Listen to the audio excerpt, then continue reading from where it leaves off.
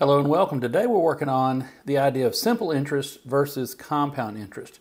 I've got the formulas and I've got an example of each one so you can see the difference between simple interest and compound interest. If you're new here, my name's Jeff from Finally Learn, where I'm teaching accounting right now.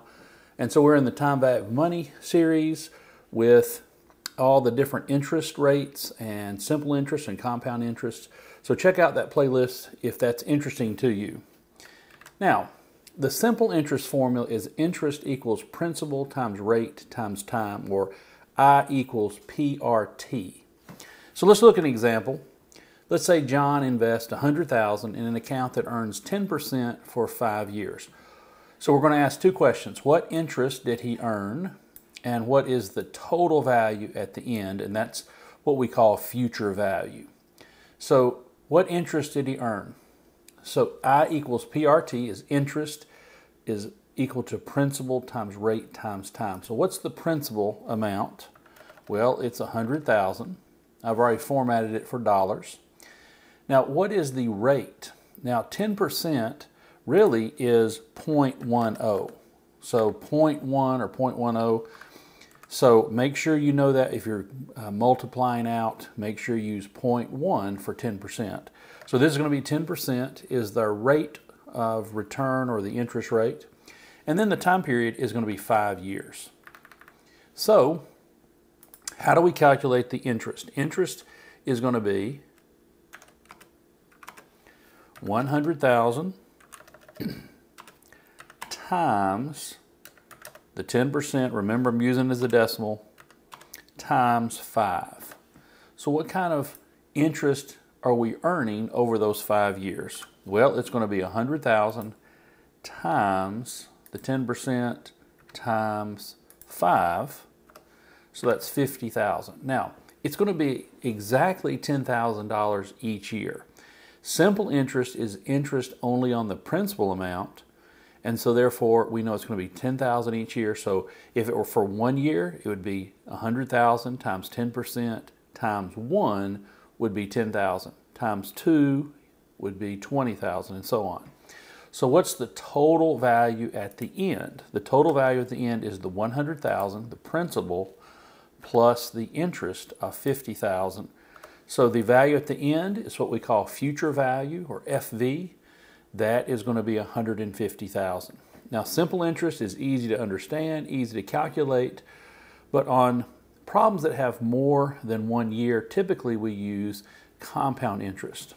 So let's think about the simple interest one more way. So let's say we started out with $100,000 of interest and we did a 10% interest rate. And we're going to take the 100,000 times 10%. We know that's going to be $10,000. And we're going to do that every year. So I'm just going to copy down the 100,000 so on simple interest, we never have to update the principal amount. The principal amount is always 100,000. We're going to use the 10% interest all the way down. And so what we're going to do is just multiply the 10, uh, get the 10,000 every time, multiply the 100,000 times the 10%. So I can just copy it all the way down. And so we know that our total interest is going to be 50,000. Okay, what I can do is do the sum of all these 10,000 amounts times 5, right? So that's 50,000. So what is our total amount? We did it in a different way, but you can see it's going to be the 100,000 plus the 50,000. So you know the total future value is 150,000.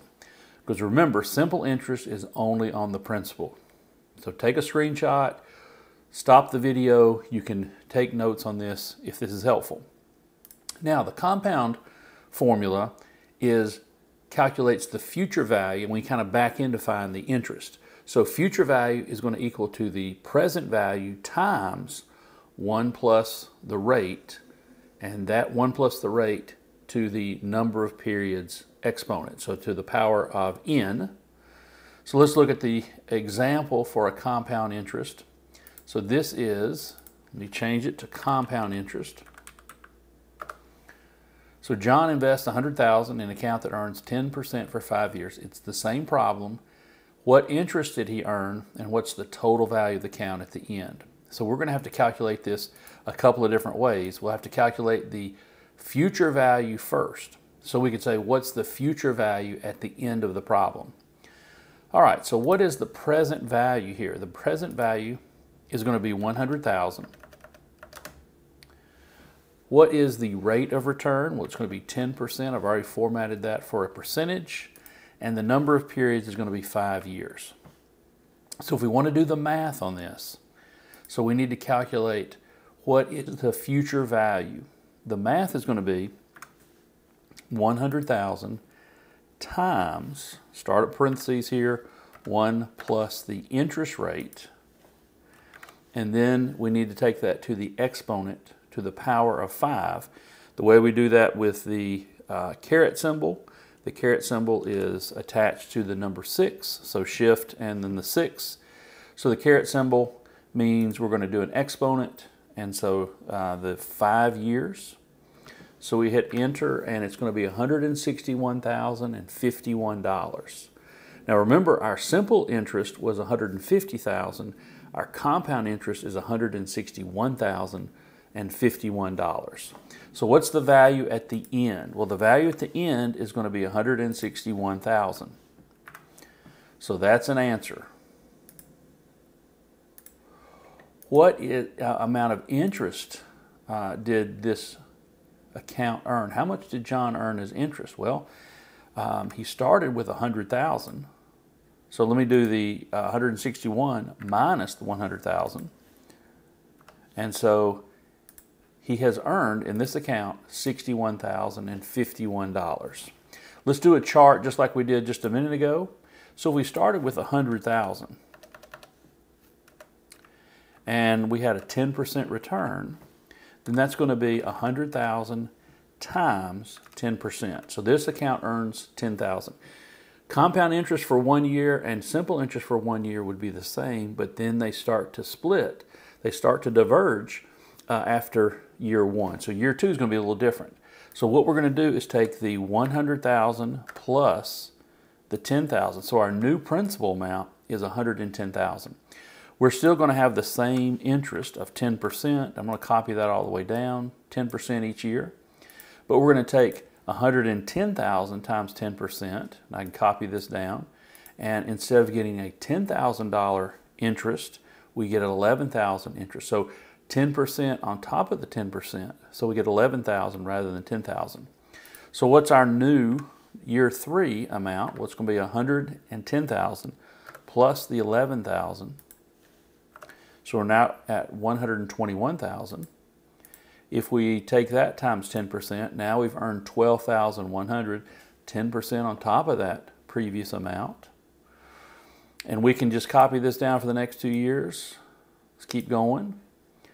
And we'll copy this for the next two years. So what is our total interest that we've earned? The sum is going to be all these numbers added up and remember, it's $61,051 that we calculate that uh, just a little bit ago. And so it's going to be the 146 plus the 14, or it could be the original uh, principal of 100,000 plus the 61,000 of interest. So principal plus interest gives us our future value. Our future value is $161,051. Now, I've done it one chart here to show the difference. So I use the same numbers, 100,000, 10%. Instead of stopping at five years, I rolled it out to 30 years. So what happens is every year we get $10,000 in this problem on simple interest. So it goes up to 400,000. You think, great, I invested 100,000, now I have 400,000. But then if you do the math with compound interest, then you end up with $1.7 million because 10% on top of 10% on top of 10% is exponential growth. See how this uh, simple interest is a straight line? Well, that's just adding 10,000 every year. Do you see how this line is a curve for compound interest? Well, that is exponential growth. Go back and look at the formula. The formula is the present value times 1 plus r to the nth. And if you do it times the exponent 30, then you have a bigger number and it's exponential growth. So that's the difference between a simple interest and compound interest. We got lots of videos on time value of money. I have videos on how to do time value of money using Excel, which is pretty powerful. So I'll link to that below. Hey, thanks for watching. We'll see you on the next video. Good luck.